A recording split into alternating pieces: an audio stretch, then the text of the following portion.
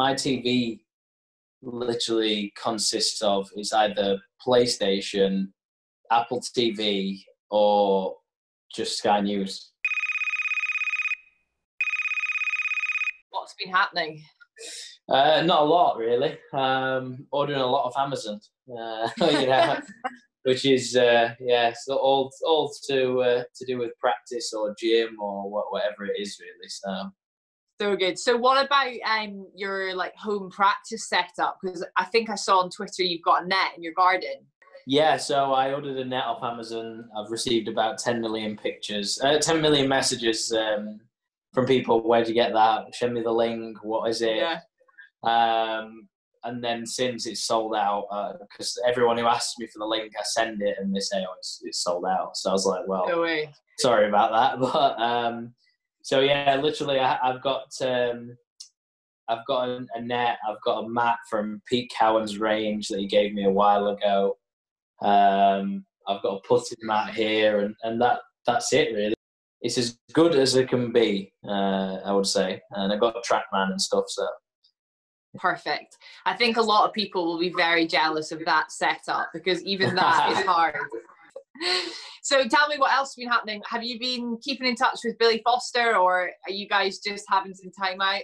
Yeah, no, I mean we're every we're all like me and my team are talking pretty regularly. Uh, like I say, speaking to my trainer regularly, and um, it's just all very surreal, really. Uh, you know, like we've got obviously things that we want to go play tournaments, and you know, even if it was at first when I came home, I, I came home from the players uh, back to Sheffield about three days after, and at first, the first maybe four days, I think, or three days, we weren't really in lockdown, and you could have gone, you could have gone out. There was still so, social people were recommending social distancing, but I could have gone and played golf, and and it was almost seen as a bit of time off. But now it's kind of like hit home really that it's yeah this isn't just a little bit of time off and how serious the matter is and, and everything that's escalating with it. It's uh, yeah it's i mean the grand scheme of things missing a few tournaments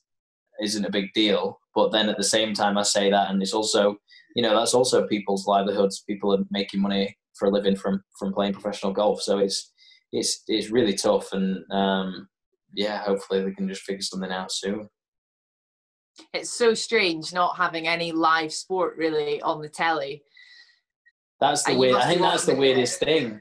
That's the yeah. weirdest thing. I mean, my my TV literally consists of is either PlayStation, Apple TV, or just Sky News. That's it. That's literally. It, it, there's no. I've not changed channel.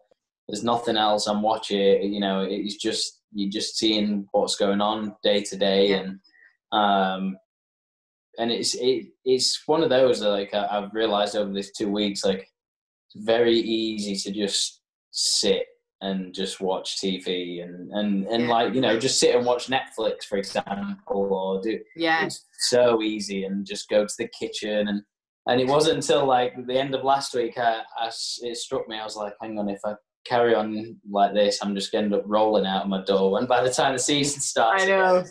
again, it's uh, yeah, you do you do have to sort of try and create some form of structure or a plan or something, you know. Yeah. Um, so have so. your team have you been talking about that with your team and what have you decided? Tell us what your plan is now. This is a good chance for you to voice it, Matt. Yeah, what yeah, is your daily yeah. structure? Um, my daily structure. Uh, well, I'm still. I, even though I'm preaching that you need to have it, I'm not exactly doing it just yet. But um, no, I mean, for me, I the the sort of the staple items really would be, you know, try and hit into the net, um, just hit a few putts on my mat, and it would be like getting a workout or get some cardio in. Um, those are the for me those are like the, the key points really and and then anything else that sort of revolves around that um, whether it's boring stuff like cleaning or you know washing or cooking and stuff, just, yeah. stuff like that really. And I think as well in this time that I've had off, um, I've done more cooking and stuff and trying to eat healthy and watch the calories and all that. Just because I'm used to walking five miles a day, you know, on practice yeah. days and tournament days, and with that, all of a sudden you lose that. It's uh, it makes quite a big difference that you don't realise. Totally, it's crazy how less active you are just being at home. I notice it as well, trying to get out and stay active. And and in terms of your game, I mean, you obviously had a pretty good start to the year, coming second in Abu Dhabi. Do you feel frustrated that it was like cut off at this time? Um, yes, yes, and yes and no. I mean, um, for me, I played well at Bay Hill. Obviously, I had a good finish there, but I wasn't quite happy with where my game was at. But I knew that I had time up until obviously is where everyone wants to peak. Um, and that's what what I figured. I thought, okay, I've got enough time that I can turn this around, not turn it around, but I can sort of get it going really. Um, so I, I, was I was fine with that, and that's what I was looking forward to, and that's what my mindset was. And then with it just obviously being taken away, I was like, okay, well that's that's fine. You know, that's the same for everyone now. Everyone's going to be in the same boat, and I look now, and and literally everyone is in the same boat. I'm, how people are going to be when they come out, how's the game going to be, how they're going to play, and it's going to be very, very unusual. Yeah, it's going to be fascinating to see what happens. In terms of where it was, though, you are 25th in the world. What do you think your game needs to get into that sort of top 10 when you do get to get back out there? For me, it's, it's a, not necessarily always just one thing. Um, it's sort of a combination of everything, really. Um, I think even if I became unbelievable, my short game I feel is always my my weaker weaker area. But even if it got a lot better, you can't really make a big gain in that area um, according to the stats. And for right. me, it would just be a case of hitting it a little bit further. Um, and then just hitting my irons closer, which obviously sounds very simple, and everyone wants to do that, of course. But um, that that's sort of the that's sort of the goal, and it has been just becoming a little bit more consistent with that and doing it regular rather than sort of good couple of weeks and sort of disappear a little bit and then come back for another good couple of weeks. It's um yeah, it's just trying to keep the high level of consistency. Well, I don't know if you remember, but the one hole that I did caddy.